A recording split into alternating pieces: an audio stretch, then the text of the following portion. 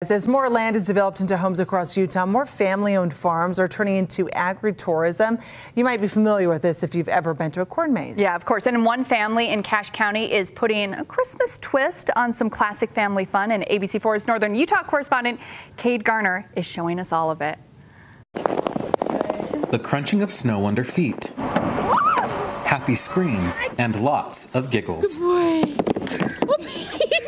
Really cool. Kids love to run around. It's fun. Yeah, it's awesome. All sounds you'll hear at the Cache Valley Straw Maze in Richmond. Ag is is going away, and we're sad about that. And so we're just trying to give an experience that that gives back and that everybody can come and enjoy as a family. We're just looking to for everybody to be able to make family memories, really. Tanner Schroeder and his family opened a maze this fall for Halloween. And then we just decided to add Christmas lights as well to keep the festivities going and kind of give the community something to do. Now, about an acre of their land is dedicated to a giant Christmas tree, swings, a straw maze decked out in lights. Is it fun trying to figure your way out?